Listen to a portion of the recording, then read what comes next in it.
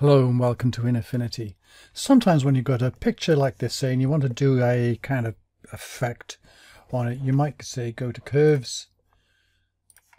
And uh, I want to pull this sort of right down here but as you get start going down here look this is hitting the bottom of this here. It's bottoming out. Maybe I don't want that and maybe I want to pull this but now I start pulling this down here and look at this bit's going up again so I, I need to play around with this but that affects this and it just gets really really messy and you still don't get the effect that you want.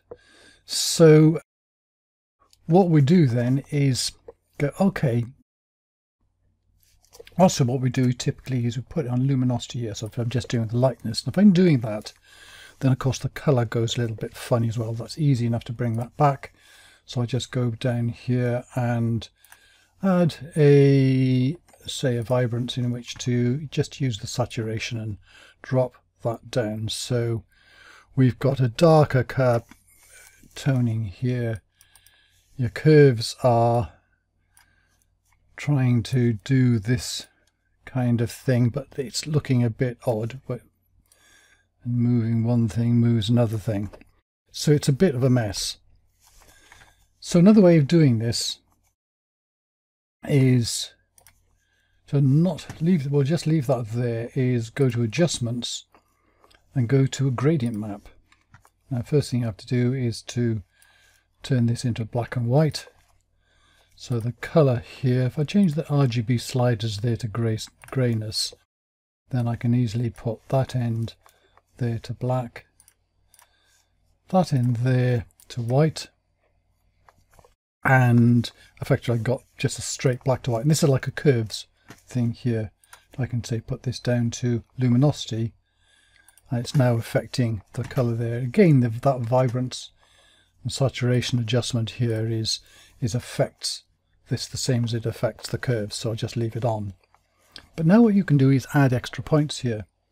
So if I add, say, a point down here, I can see I've got position here, I can change the colour of that up here.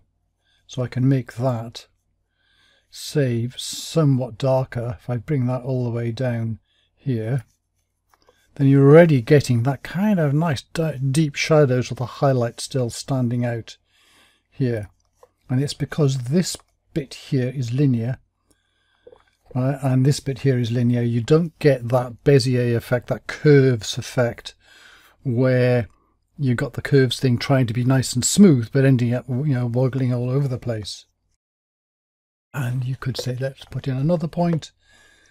Let's uh, put that somewhere up here. I could type in here or whatever, but say we put that up around the 45%, something like that.